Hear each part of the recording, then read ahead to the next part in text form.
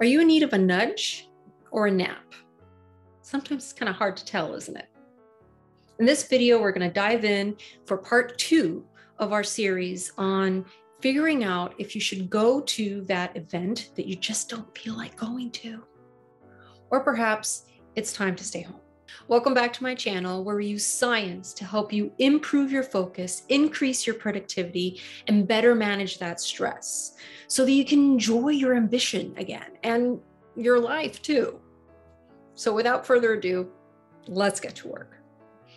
In this video, we're going to continue to ask the questions to help you figure out do you should you really push yourself to do that workout, to go to that social event? Or is it time to pull back, recharge, maybe stay home? So, in the last video, we covered two questions. Question number one Is it a rule or the exception that you just don't feel like going, or you just don't feel like doing this thing that would otherwise objectively be maybe a good thing for you to do? Rule or exception? Question number two Have you enjoyed this activity before? Or is it something that you have just never enjoyed and you just push yourself to do? All right. Question number three Can I picture myself there? And I, I mean it. Take a moment, close those eyes if you have to, and picture what it would be like to be doing this activity. What does it feel like in your body? What does it feel like on your skin? What can you hear? What do you see? What do you feel? I know, a little unusual for most of us, but give it a try. And if you just for this moment envision for yourself what it might be like to go, if there's any little twinge of enjoyment or goodness in that imagined experience, then that's a signal you should go. But if it's absolutely dreadful for you, without question, don't. Now, notice how I asked you to envision what it would be like to go and not to envision what it would be like to avoid the event. Why? Because essentially we're creating a potential reward association when we're imagining what it might be like to go. And if we do that with imagining what it might be like not to go, we're creating subconsciously an award association with not going.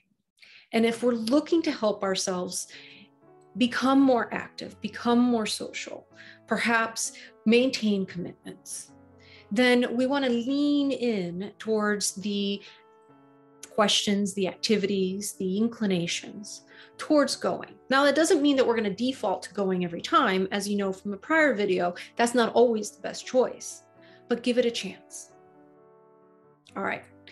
Final question number four Is this activity in line with my values? And if you have questions about what I mean by in line with your values, check out the video linked up here or here, depending on where it goes today, and I'll make sure to link it in the comments below as well. So, back to the question is this in line with my values? This is where we really have to take a psychological step back and go beyond the discomfort, going beyond the urge for avoidance, and tap into something else that also matters for us.